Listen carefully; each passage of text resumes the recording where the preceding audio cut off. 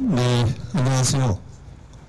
어, 국회에서 어, 박근혜 정통성 얘기를 하고 어, 대선 부정과 개표 조작을 얘기했다가 민주당으로부터 추방당한 강동원입니다.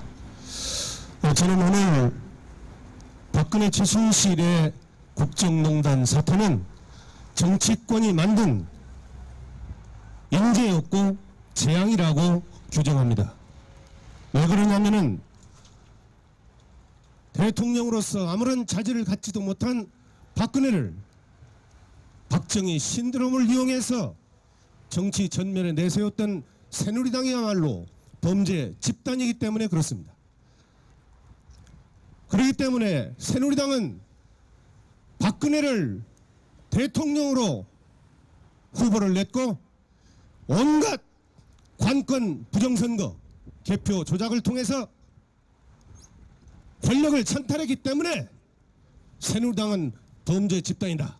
그렇기 때문에 새누리당은 즉각 해체해야 옳습니다. 뿐만 아니라 2013년 1월에 전국은 국정원의 댓글 사건으로 온 나라가 들끓었고 박근혜의 부정선거를 규탄하다가 서울역에서 자살했던 시민이 있었고 그리고 시민 2천여 명이 대통령 무효소송 선거인단을 구성해서 대법원의 대통령 선거 무효소송을 제기했었습니다.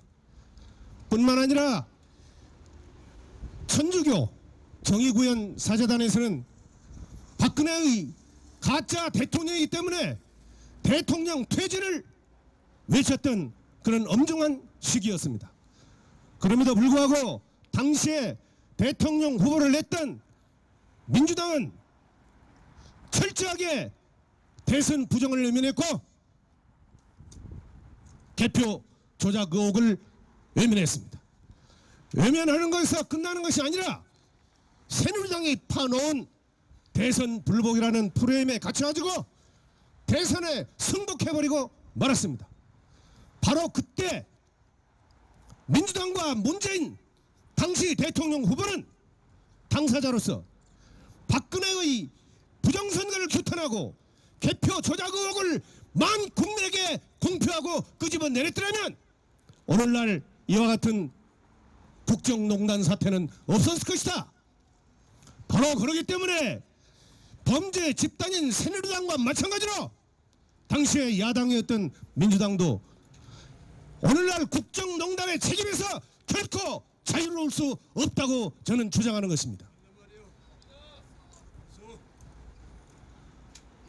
지금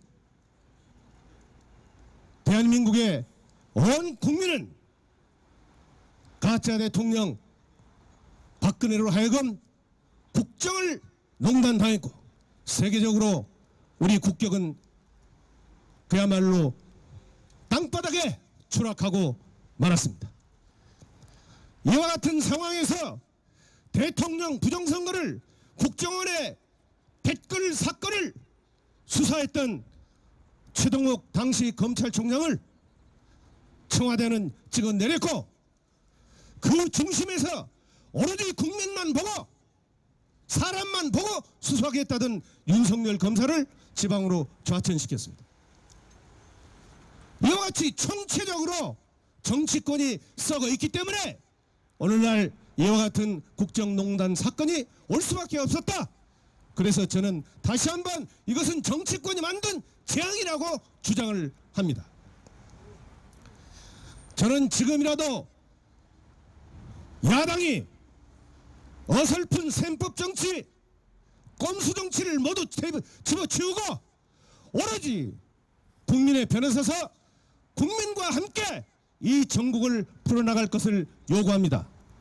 언제부턴가 야당은 청와대와 새누리당과 국정원과 보수 언론만 보고 정치를 해왔기 때문에 우리 국민들은 안정에도 없었던 것이 사실입니다. 야당은 지금이야말로 대우각성하고 국민의 선봉에 서서 이 난국을 풀어나가는데 앞장서 줄 것을 당부해 마지 않습니다. 그러기 위해서는 탄핵과 하약, 퇴진도 있습니다만은 지금 이 시점에서는 2013년 1월 4일 날 서울시민 2천명이 대법원에 대통령 무효 소송을 제기해 놨기 때문에 이 문제에 대해서 관심을 가져야 됩니다. 대통령 선거는 단심제입니다. 대법원에 소송을 제기하면 6개월 내에 심진을 해서 재판 결과를 국민 앞에 발표를 해야 됩니다. 그런데 지금 3년 11개월에 끝나는 이 시점에서도 대법원은 일체 제18대 대통령 무효 소송에 대한 심리조차도 하지 않고 있는 이 엄중한 상황입니다. 이런 상황인데도 왜 정치권은 이 문제를 일체 언급하지 않고 덩어리가 되어버리고 맙니까? 저는 대한민국 국민께 호소합니다. 광화문에서 촛불 집회 여의도로 번졌습니다. 이제는 서초동의 대법원 앞에 가서 대통령 무소송을 즉각 속개하라고 외쳐야 됩니다, 여러분. 그리고 또 하나 지금 20대 국회는 여소 야대입니다. 야당 숫자가 많기 때문에 맘만 먹으면 모든 법을 고쳐낼 수 있습니다. 지난 18대 대통령 선거는 국정원을 비롯한 7개의 정부 권력기관이 조직적으로 지능적으로 대통령 선거에 개입해서 이승만 자유당 정권보다도 더 악질적인 악랄한 부정선거를 자행했고 그것도 모자라서 중앙선거관리위원회는 개표 조작을 통해 가지고 가짜 박근혜 대통령을 만들었던 것입니다. 저는 그래서 박정희는 5.16 쿠데타로 정권을 찬탈했지만 그의 딸 박근혜는 관권 부정선거와 개표 조작을 통해서 권력을 찬탈했기 때문에 정통성이 없다 이렇게 지난해 국회에서 외쳤던 것입니다. 마지막으로 하나 야당에게 요구합니다. 대통령 선거에 있어서 개표 조작을 막기 위한 제도적 개선 이것은 바로 투표소에서 수개표 하는 것이야말로 모든 불법 조작 선거를 막을 수 있습니다. 그래서 지금이라도 당장 야 3당은 투표소의 수개표 법안을 입법 발의하고 반드시 국회에서 통과해가지고 다시는 이 땅에 대선 부정 조작 선거가 없도록 해달라고 요구합니다. 오늘 저는 남원에서 열차를 타고 올라왔습니다.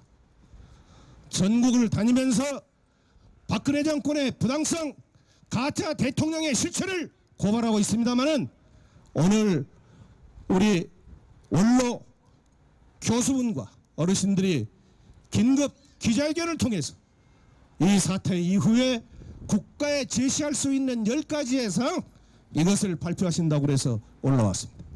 아무쪼록 우리가 힘을 모아서 박근혜를 반드시 처단하고 구속시켜야 된다고 마지막 말씀을 드리면서 구호를 하나 외치겠습니다. 박근혜를 구속하라! 구속하라! 구속하라! 구속하라! 감사합니다.